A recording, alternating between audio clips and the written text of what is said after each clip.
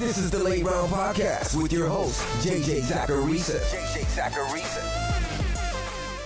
The first trend for today's show is that the Rams running backs have seen 7.7% of the team's targets this year. Not only is that the lowest mark in the league, but no other team is below 10.9%. Now, Todd Gurley made a living getting targeted out of the backfield under Sean McVay and those have essentially evaporated through three weeks. He's averaging just two targets per game when he averaged almost six per game last season. As a result, Gurley's just not been the fantasy asset that a lot of people were hoping for when they drafted him in the second round back in August. And I don't think that we can just assume the Rams are going to start using their running backs more as receivers. I should say I would be surprised if they kept up this pace, but I don't see regression to the mean from the standpoint of them getting close to how they utilized Todd Gurley over the last couple of seasons.